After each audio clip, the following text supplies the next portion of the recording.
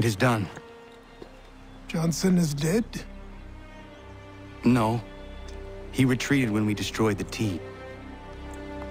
Only to hatch some new scheme, I'm sure. You should have killed him. There was no need.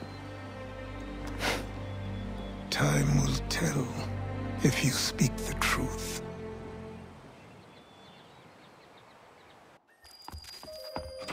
Ratonhnhaké:ton! Radun Hagedum! Kanen'tó:kon, why are you here? Has something happened? William Johnson has returned with all the money required to buy our land. He meets with the elders as we speak. I have begged him to resist, but I fear he shall have his way unless you intervene. How is this possible? We destroyed the tea. The Templars are nothing if not resourceful. You should have heeded my warning. Please, you have to stop him. Of course. Can you tell me where they're meeting?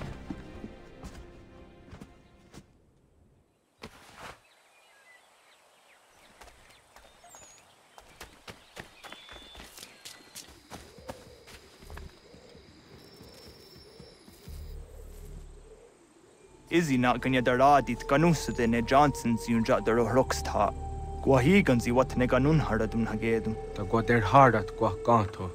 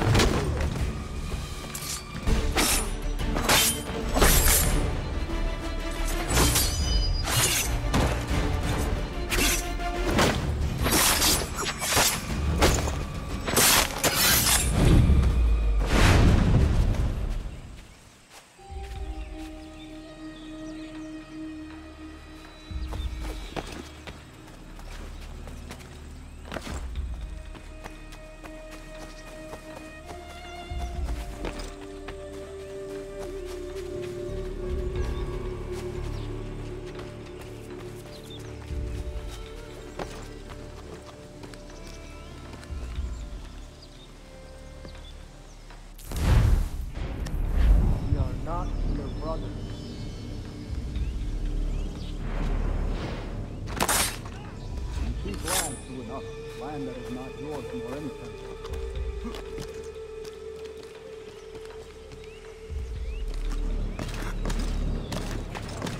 We are all too aware of the expeditions your people send against us. What do you mean? My... We are all wrong. You should act this stuff. How? By by signing our lands over to you, then we'll be as one in your debt forever? Sir William may have a point. What hope have we against their black powder and iron? The spirits will guide us, as they always have. Did they not guide us here? Yes, that we might unmask the great betrayers. This is a mistake. We should sign.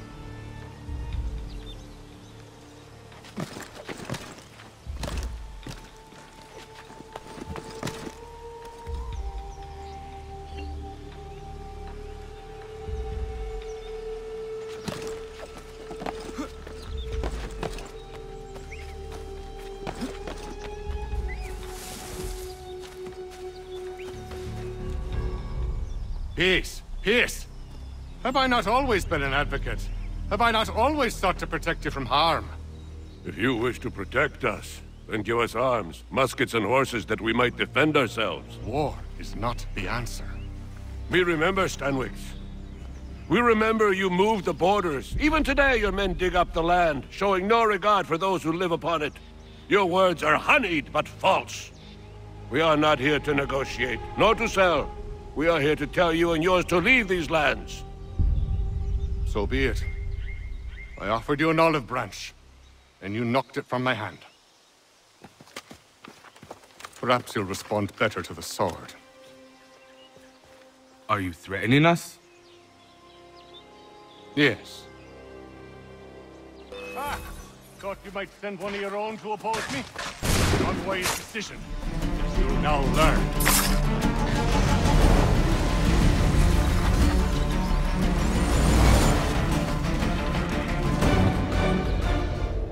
Oh no. What have you done? Ensured an end to your schemes. You sought to claim these lands for the Templars.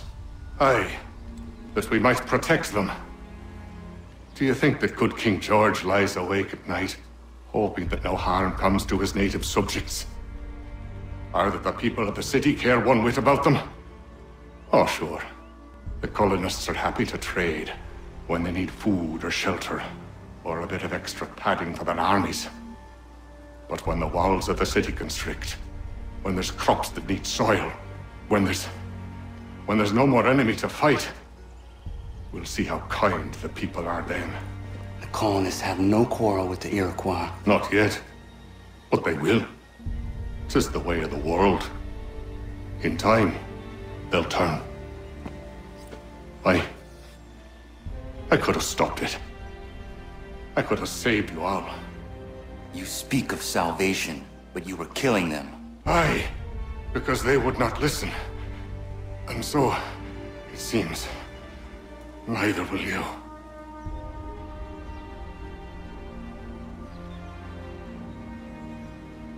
Ayawas ne yatte hagum sare, am dahyayum ne skanas izagum haje.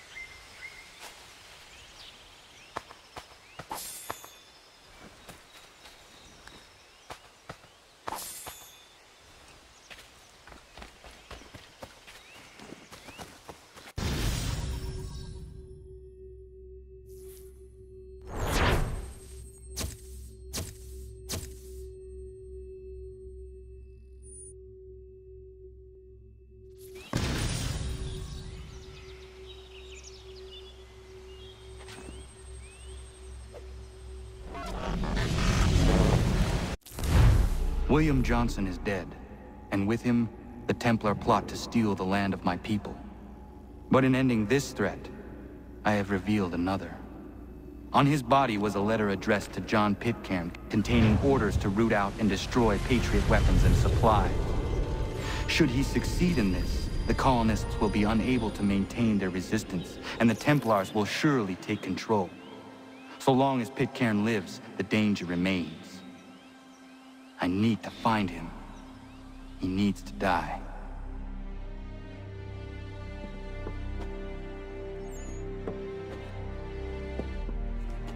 I thought it might bring clarity or instill a sense of accomplishment, but all I feel is regret. Hold fast to that. Such sacrifices must never come lightly. I had to do it. Not only for my people, but for all the others Johnson would have harmed. It's a start. But to truly be free of Templar influence, all of them must be dealt with in turn. Even your father. I know. You speak the words, but do you believe them? Seems we've company.